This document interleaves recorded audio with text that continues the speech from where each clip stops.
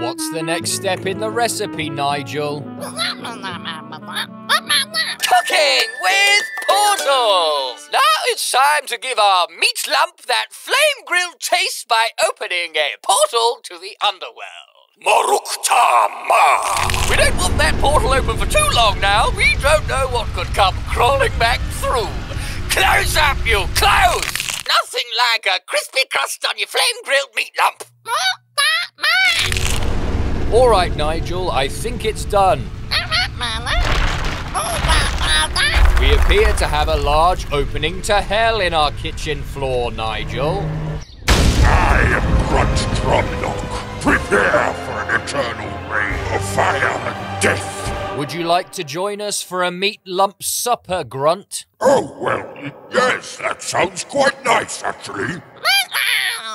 Meat lump. Woo.